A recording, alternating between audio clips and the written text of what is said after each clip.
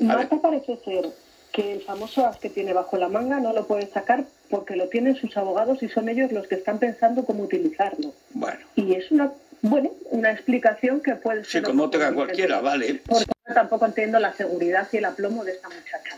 Se llama a, a la comisaría. O sea, ya está bien. Está, está tomado. Es verdad que se ve que la tipa está sobrepasada. Es otro mundo, es el mundo de las redes. Sí, y entonces pero que es, ya el, viven- es, es el enlace es eh, eh, en red social de la policía, claro, en lugar claro. de llamar al 112, ¿no? Que Sí, es sí, el pero es que genérico. la policía, ¿qué va a hacer?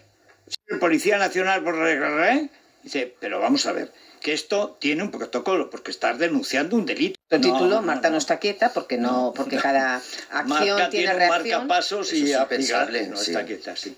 Atención, una cosa, los colaboradores que se sientan en las tertulias y otra parece ser que son los redactores. Y a Marta en una de las dos la han vetado. Yo creo que como veas ahí, Sí, pero me dejas que haga yo la interpretación porque que me encanta, como no tengo nada que perder, digo lo que me da la gana. Bueno, eh, yo creo que ella, y lo dijimos desde el principio, una cosa es que eres reportera y haces tu trabajo, y otra cosa es que eres famosa y te sientas, pues como Rocío Flores, como Isapé, eh, Pi, Po y Pu, es decir, como Paquirrín, que es la única razón de existir en su vida, de cobrar y luego de dilapidar, es que es hijo de la pantoja. Pero yo creo que le hacen un enorme favor conservándole el puesto de reportera y quitándole de colaboradora donde solo puede hablar de sí misma. Y de su relación, claro. Yo, Pero hasta claro, donde yo sé, ya. a ver, y tampoco, hombre, y si evidentemente si tu- tuviera cosas de, de discreción empresarial no las voy a contar, pero vamos, hasta donde yo sé, Marta sigue trabajando en la productora, Marta lo está venga a decir en sus stories,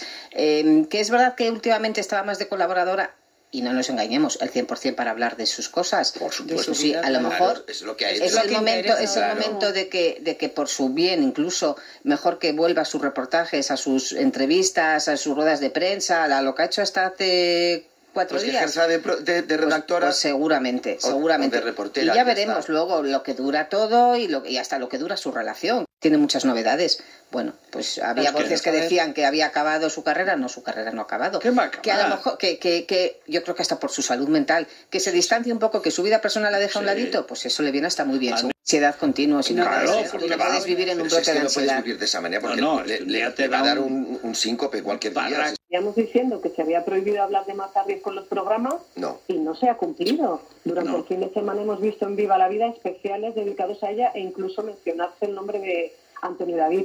Eh, entre los youtubers que dice Federico, se hablaba de la guerra entre productoras. Algo que aquí, ¿te acuerdas? Se destapó hace muchísimos meses. Mm, claro. todo el problema de Rocío contar la verdad para seguir viva. Eh, hay varias productoras que parece ser que se quieren hacer con el hueco de la tarde, con el hueco de Sálvame. Hablar mal de Sálvame es hablar mal de Rocito. Tienes que creerte que lo que la justicia ha rechazado nunca lo rechazó y además es absolutamente cierto. Es decir, tú tienes que creer que la justicia en España no existe, que la justicia se llama Jorge Javier Vázquez y en su defecto eh, Rocío Carrasco.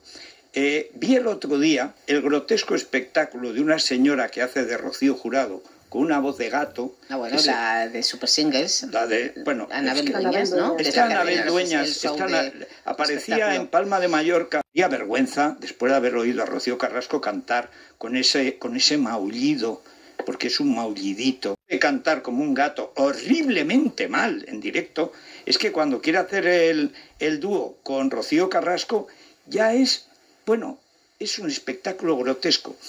tienen una relación con ella. Anabel Dueñas puede que haya sustituido un poco a los hijos de Rocío Carrasco.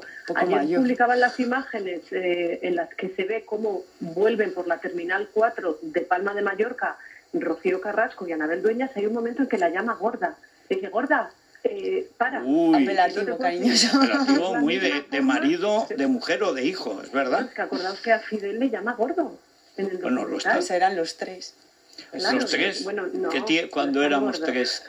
Opinar, darle muchos comentarios a este vídeo, dejarlos aquí abajo, dar muchos likes y suscribiros a este canal. Hasta pronto.